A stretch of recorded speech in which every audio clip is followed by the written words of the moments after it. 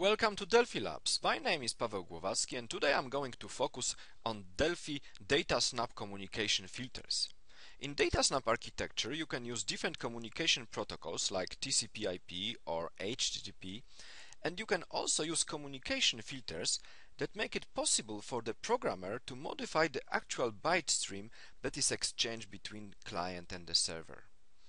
Okay, let's switch to Delphi and let's build a a simple system uh, consisting on, of the server. So I'm going to uh, select a standalone DataSnap uh, server and the client in a moment. So for the server I'm going to uh, select the VCL Forms application.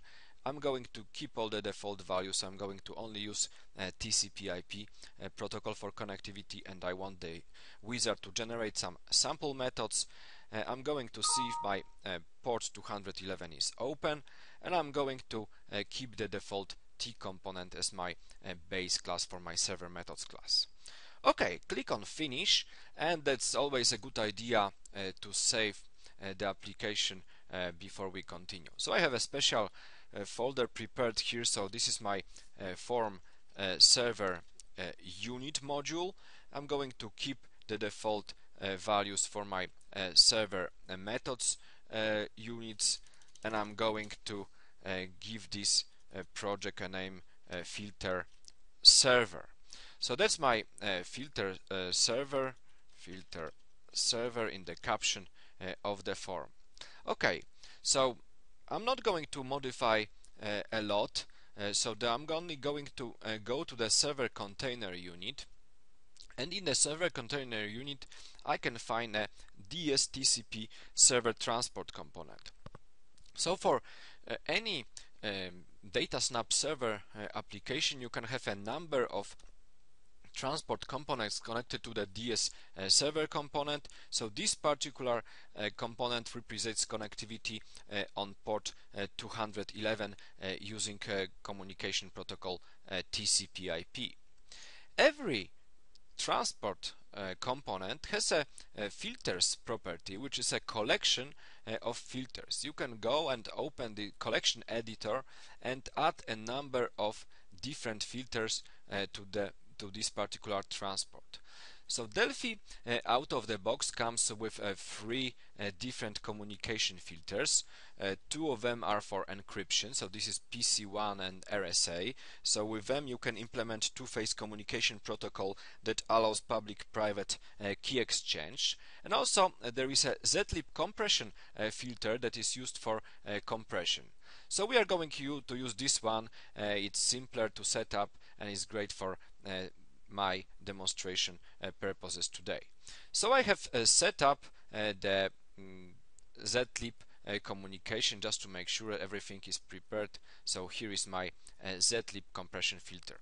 At this stage my server is ready. I can now run it uh, because it needs to be running before I'm able to develop a client. I'm going to add to my project group a new project. This time is going to be just a straightforward uh, VCL forms application. I'm going to uh, save this uh, unit again in the in the same uh, filters uh, directory.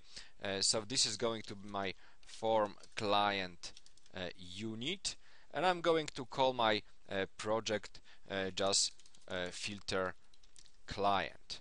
Okay, the project group maybe just filters group, whatever. So in this way uh, I have now my uh, filters uh, client ready. I'm going to build a very quickly a simple uh, interface for invoking a test uh, reverse uh, string method so I'm going to add one edit and I'm also going to add one button to the form so I'll have a, a button uh, and a little edit.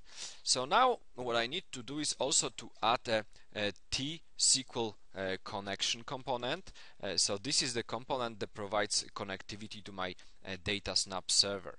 The first thing is to select the proper driver, which is a DataSnap. The moment that you select uh, DataSnap, you see there is a number of properties that are specific uh, to this driver and also it's good uh, idea to uh, change the login prompt to false we don't want to see uh, any login information okay uh, so you can see now that it's a good idea to also set up uh, the same filter on a client side. So in the filters property uh, I need to set up uh, the same filter because otherwise uh, my uh, communication is not going to work uh, because if the server is encrypting the communication the client needs to know to decrypt it as well. So now I should be able to click on connected. when I click on connected then I see that I'm connected at design time. So now it's a great moment to generate uh, DataSnap uh, client classes. Uh, I'm going to uh, save this unit which is part of my client uh, project as proxy and I'm going to switch to my form client unit and I need to add uh, this new unit to my client project. Okay, so now I see that it has been added to the uses clause of my of my client project. So now let's very quickly uh, implement uh, the functionality. So I'm going to define a variable called uh, client. So this is going to my T server uh, methods uh, client. Okay, that's fine. And I'm going to now to actually first instantiate this guy. So I'm going to pass a SQL connection dot uh, dbx connection. This is a, a property that actually makes a connection uh, between uh, this uh, this proxy class and this particular uh, component uh, that is connecting to our server. So it's always a good idea to make sure that when we are done with a client it's properly uh, freed even if there are maybe some communication exceptions or anything. So I'm going to implement it very quickly edit one text uh, equals and then my A client provides my reverse string and I'm going to change the value inside the um, edit box uh, directly. Okay, so that's my uh, client and I'm going to uh, run it and I get uh, some error. So what is this error? So this is something that I was expecting. So let me run it with debugging. I see that project filter client tries an exception with message illegal argument. I actually know what is this problem?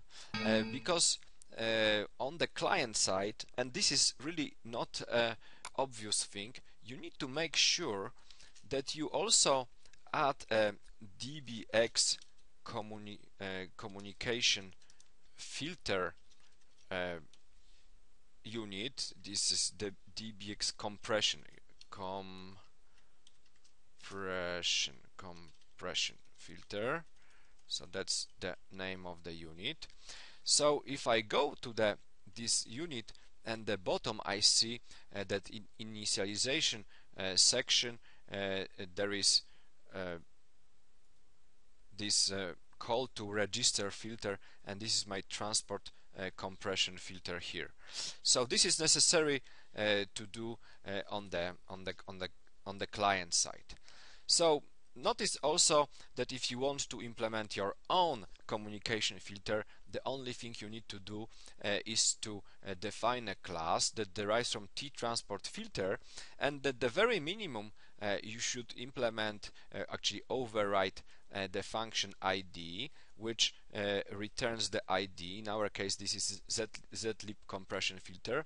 And also you need to override these two functions. One is a process input. It takes the uh, mm, array of bytes and it returns the uh, array of bytes. And also you need to do a process output that also takes uh, bytes and returns bytes. So this is an opportunity for you to do any processing uh, on the communication string. So for example uh, when you uh, change uh, the byte stream uh, in the process input, you should implement the opposite uh, operation in process output so you get back to the same data stream that has been processed by the process input. Okay, so if I now run my client application, I still got errors because my client is still running. So this is my client, so I need to stop the client before I will be able uh, to successfully run it. Okay, in this Delphi Labs episode uh, we have uh, implemented a server and a client using DataSnap uh, technology that communicates using TCP IP protocol on port 211 and the communication between client and server is compressed. Thank you very much.